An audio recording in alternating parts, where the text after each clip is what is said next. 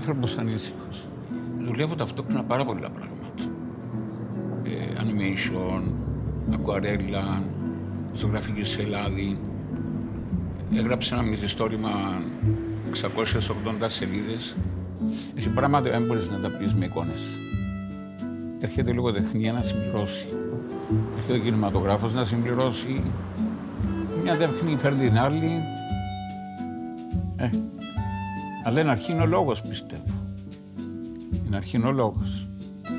Θα έλεγα ότι για μένα το εργαστήρι σημαίνει σχεδόν το πρώτο μου σπίτι. Για να καταλάβετε, όταν ε, φεύγω για διακοπές για να πάω κάπου για μια εβδομάδα, να πάω ένα ταξίδι, να επιστρέψω, με πολύ δυσκολία να αποχωρήσω με το εργαστήρι μου. Και το πράγμα που σκέφτομαι φεύγοντας από το εργαστήριο, πότε είναι να ξαναεπιστρέψω. Δηλαδή, η καθημερινότητα μου είναι τούτος ο χώρος που δημιουργώ. Και επειδή όλα αυτά τα πράγματα ε, είναι εδώ που γίνονται, σε αυτόν τον χώρο.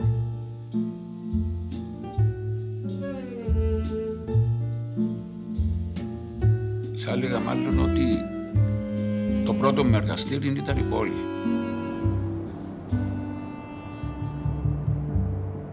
Δηλαδή είχα, την, είχα, την, είχα τα σύνεργά μου, τα οποία έπαιρνα όλα πάνω, με κουβαλούσαν τα μαζί μου και κάθομαι σε ένα τόπο που δεν εμπόδιζα την κυκλοφορία και ζωγράφιζα ό,τι έβλεπα απέναντί μου.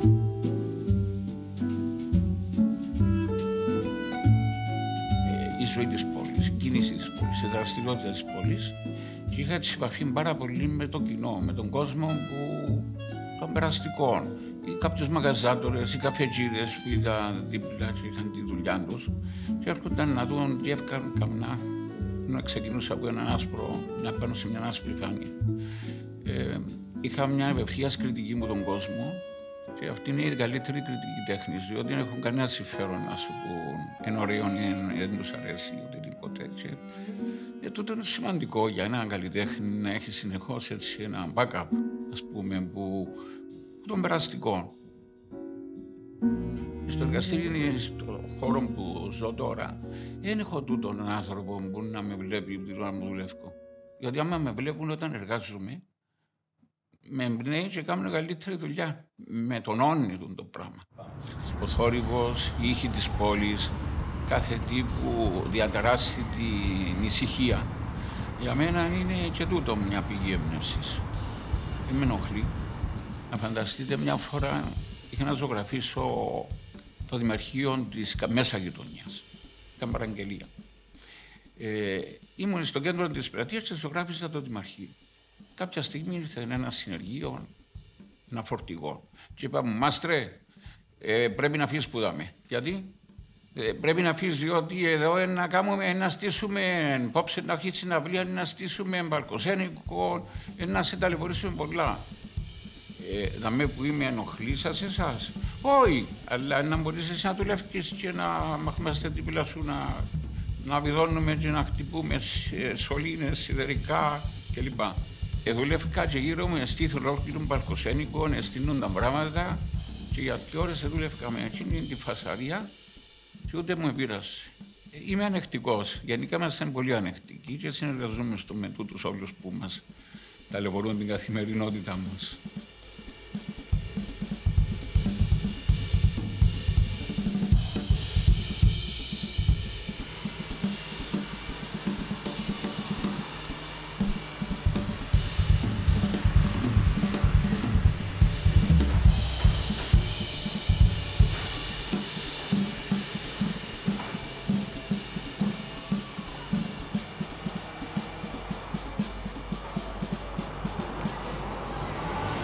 Το φως για μένα ήταν κάτι το μεγάλη, μεγάλη βίωμα.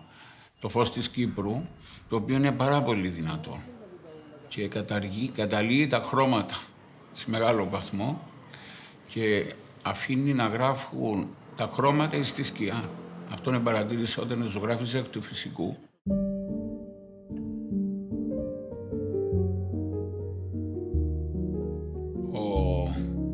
Μου ήταν ο γνωστός δημοσιογράφος Δημητρός Δημητριάδης Δόρια. Είχε τη δική του εφημερίδα, έγραφε θεατρικά έργα, έγραφε άρθρα στη δική του την εφημερίδα που ήταν εβδομαδία, τον χρόνο. Τα καλοκαίρια έπαιρνε μέσα στον κινηματογράφο. Κάθε νύχτα πήγαιναμε, διαλέγαμε έργο και πήγαιναμε να δούμε. Θα τον τελεμπρούσα πολλά, διότι πήγαινα και έβλεπα πελάρες. Εγώ και καμιά μου χατήρι να με πάρει.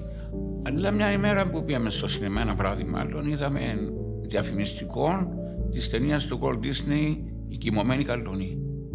Ήταν η πρώτη φορά που ο παππούς μου μου είπε «Ξέρεις Πύρο πώς τα κάνουν τούτα» «Πώς τα κάνουν» Κάνουν σκίτσα που έχουν ομοιότητες του ένα με το... Κάνουν πολλά σκίτσα και βάλουν τα στη σειρά. Και τα φωτογραφίζουν κατά σειρά και γίνεται η κίνηση. Μα σοβαρά παππού έτσι τα κάνουν. Ναι λέει. Και εγώ έπιασα κάτι δευτεράκια και άρχισα να κάνω σκίτσα που πίσω προς τα μπρος έκανα μια ιστορία. Ένας βγαίνει που ε, ε, κατεβαίνει από το άλογο του Boys, σύφκει, πιάνει το καπέλο του, φορεί το και μπαίνει μέσα σε ένα σπίτι. Flip book ονομάζεται.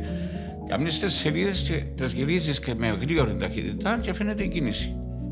Όταν αργότερα απόκτησα κινηματογραφική κάμερα που ευτυχώς μπορούσε να φωτογραφίσει καρέ-καρέ, μπόρεσα να κάνω κινούμενα σχέδια όταν ήμουν πια 17 χρονών. Άμα, άμα τελειώσα το σχολείο, νόμιζα ότι είναι εύκολο να πάεις να σπουδάσεις κινούμενα σχέδια. Δεν ξέρω ότι έπρεπε να σου καλό στη ζωγραφική, καλό στο σχέδιο, δηλαδή έπρεπε να έχεις ήδη κατάρτιση.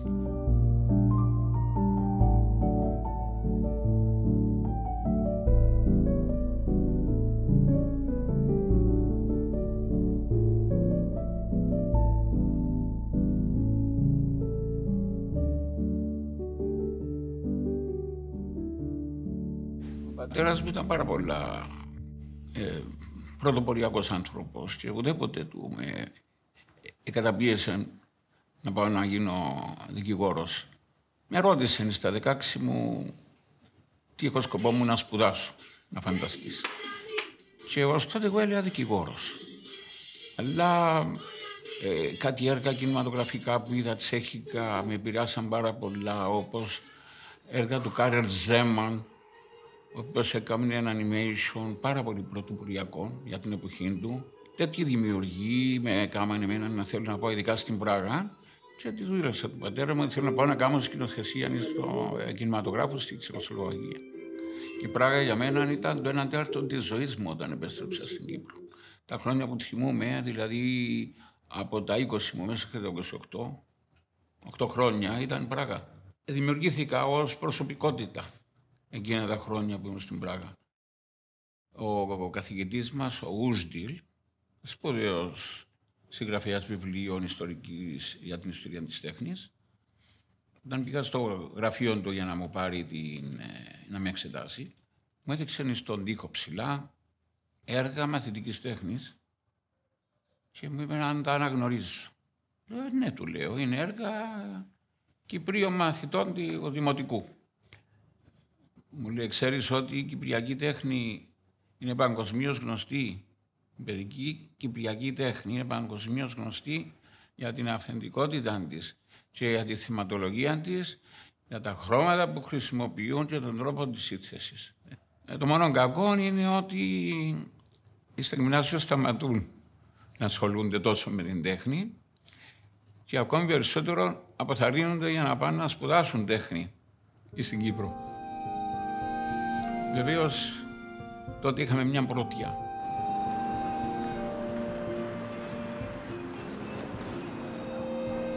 Όταν ήρθα στην Κύπρο, ξεκίνησα μια μεγάλη σειρά από ακουαρέλες και ζωγράφιζα τη Λεμεσόν και τοπία της Κύπρου για τα πρώτα 7 χρόνια της δουλειάς μου. Είναι ένας διάλογος που γίνεται. Ευτυχώς με τα χρόνια το τι πήρα που συσσωρεύεται ο άνθρωπος είναι παραγωγικός και σκέφτεται τα πράγματα βρίσκει συνεχώς κάτι καινούργιο να κάνει, κάπως να εμπλουτιστεί η δουλειά, να μπει κάτι ακόμα καινούριο. Ναι. Εμείς οι Κυπροί, επειδή δεν έχουμε σχολή καλών τεχνών, για να πάνε να σπουδάσουν οι, οι άνθρωποι, οι Κυπρέοι τέχνη, πρέπει να πάνε Καναδά, ε, Ηνωμένες Πολιτείες, Ηνωμένο Βασίλειο, Γαλλία, ε, Γερμανία, Ελβετία, Ιταλία, Ελλάδα και σε άλλες ανατολικές χώρες όπως εγώ, Τσεχοσλοβακία, Πολωνία, Ουγγαρία, Ρουμανία, Βουλγαρία. Καταλαβαίνετε πόσες διαφορετικές εμπειρίες φέρνουν όλοι τούτοι οι καλλιτέχνες στην Κύπρο. Πόσες διαφορετικές νοοτροπίες και σχολές τέχνης έχουμε μέσα μας οι Κύπροι πριν έρθουμε στο χώρο το δικό μας. Όλες, όλες τούτες οι, οι εμπειρίες των Κυπρέων μέσα στις δουλειές τους και έχουμε ψήγματα τέχνης από όλον τον κόσμο στην Κυπριανική τέχνη. Όπως είμαστε δηλαδή ένας, μια πολυπολιτισμική χώρα στην πραγματικότητα, έτσι είναι και η τέχνη μας πολυπολιτισμική. Κύπρος είναι ένα φυτόριο τέχνης.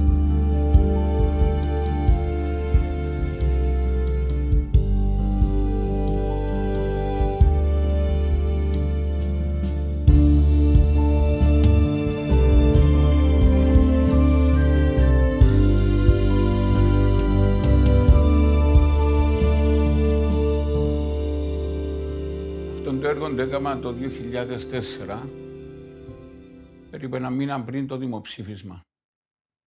Ήμουν πάρα πολύ αγχωμένος, πάρα πολύ προβληματισμένος.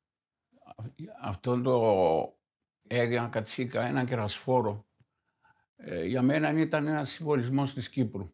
Ο Ελίτης είχε πει «Θέ μου πρωτομάστορα, με έκτισες μέσα στα βουνά, με έκλεισες μέσα στη θάλασσα».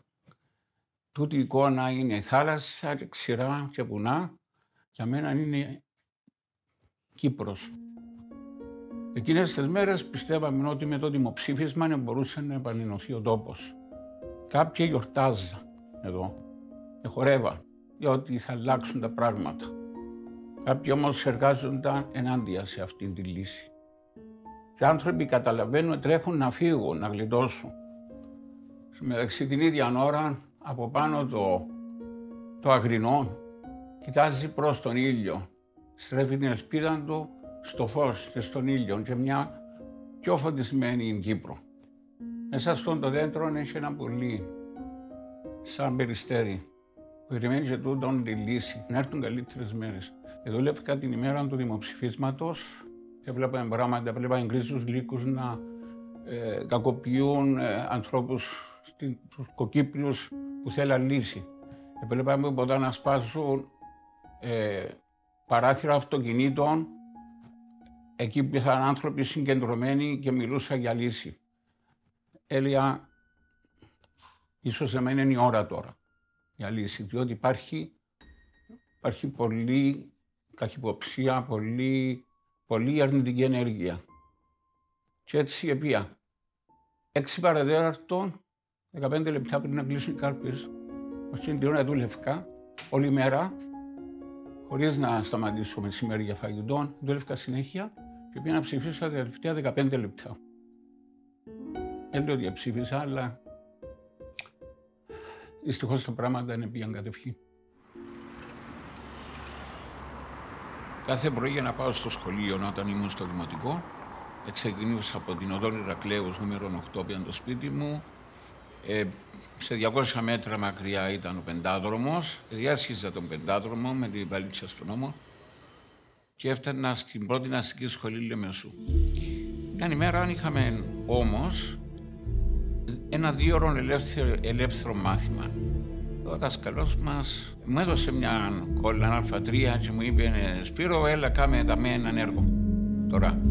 Μα σήμερα δάσκαλε δεν θα μπορέσω, του είπα. Γιατί, πώ σου αρέσει. Ε, ναι, αλλά ξέρετε, σήμερα στο σπίτι μας, τώρα, την ώρα που μιλούμε, εγκαλεσμένη Τζένι Καρέζη. Ηθοποιό. Και θέλω να πάω να τη δω, να τη γνωρίσω. Όχι, πρέπει να μείνεις να κάνεις. Μα θα ρίξω γραμμή, δεν μπορώ. Ε, είμαι μανικωμένος. Πρέπει να πάω να τη δω. Επέμεινα και στο τέλος χάρισε μου. Αλλά ώσπου να γίνει τούτη η κουβέντα όλη, πέρασε η ώρα. Ε, πρόλαβα την όμως. Ε, πέρασα το, ξανά τον πεντάδρομο που ήταν σημείο αναφοράς καθημερινό για μένα και έφτασα στο σπίτι μου στο παραπέντε πριν να φύγει η Τζένι Καρέζη που την είδα να στέκεται δίπλα από στο Γιασεμί πάνω στη βεράντα μας και εγώ χαμηλά τρία-τέσσερα σκαλιά πιο χαμηλά και ο μικρός να τη βλέπω έτσι που χαμηλά σαν μια θεά πραγματικά μια ωραιότατη, μια Ελληνίδα καλονή. Τζένι Καρέζη στο σπίτι μας. Της διάστατη αληθινή. Αμάν, τι πλάσμα ήταν. Χάρισε μου μια φωτογραφία και για χρόνια είχα γίνει τη φωτογραφία και την έβλεπα καθημερινά σαν να ήταν ένα εγκόνισμα. Και τώρα πρόσφατα έκαμε έναν έργο και έχω και ένα φοράνι στην Καρέζη διότι όπως περνάς που το πεντάδρομο επουλούσαν εφημερίδες, περιοδικά, μικρόν ήρωα, ρομάντσο, θησαυρών, κόμιξ, κλασικά εικονογραφημένα, Mickey Mouse και έτσι. Αυτή την αναφορά την έκανα πάνω σε ένα προηγούμενο μου έργο ως επιπρόσθετο στοιχείο και έβαλα και την Κέννη Καρέζη μέσα και την Αλίκη Βουγιουκλάκη που αργότερα την συμπάθησα περισσότερο διότι εγώ ήμουν του στρατοπέδου της Καρέζης.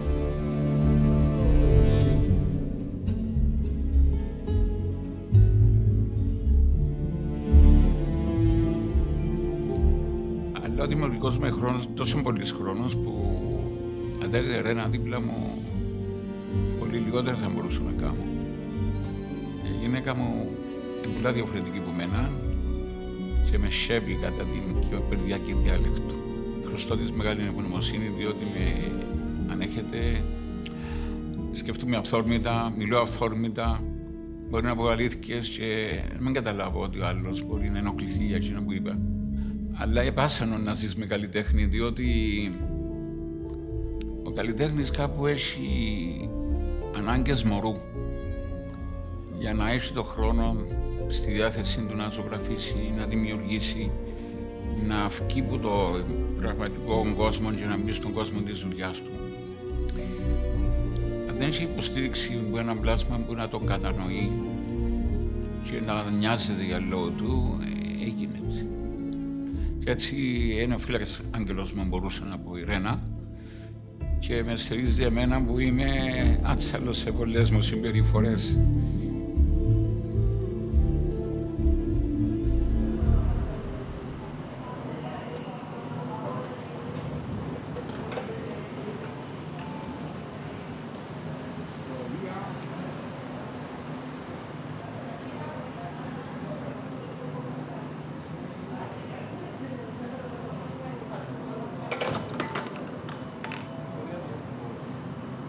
Για μια μέρα δεν θα είχα τη δυνατότητα να ζωγραφίσω.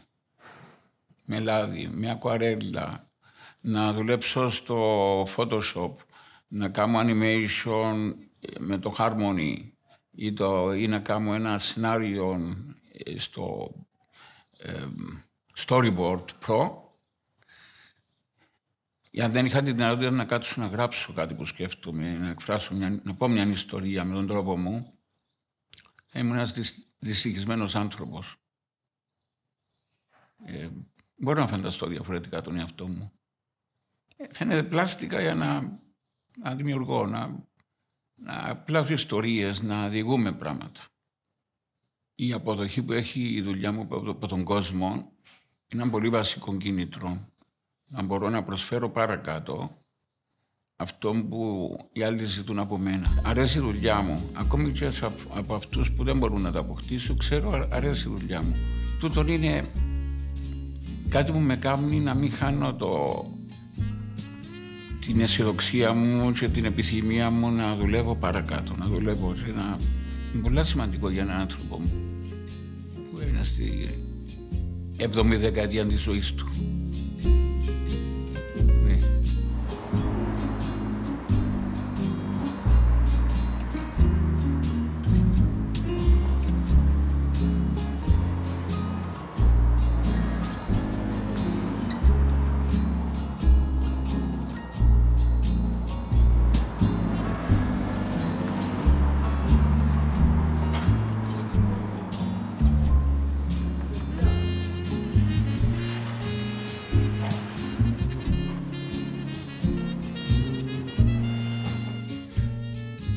Ότι βλέπω μπροστά μου το φαντάζομαι ότι μπορεί να ζωγραφιστεί, να απεικονιστεί. Και αν δεν απεικονιστεί όπως το, το βλέπουμε έτσι διαγυμνού οφθαλμού, τότε επισέρχεται ο αόρατος κόσμος της φαντασίας μας να του πλάσει διαφορετικά. Αλλά και πάλι μέσα στα πλαίσια ε, αυτά που το καθιστούν να έχει κοινωνική υπόσταση. Πιστεύω ότι κάθε, κάθε έργο έχει μέσα του κοινωνική φόρτωση. Η τέχνη είναι για να απευθύνεται στον κόσμο. Και πρέπει κάτι να λέει. Πρέπει να αισθάνεται κάποιος ότι δονείται κοινωνικά.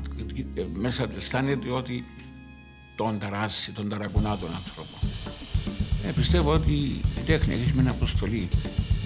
Έχει αποστολή να διαπλάσει χαρακτήρες, να κάνει τους ανθρώπους καλύτερους.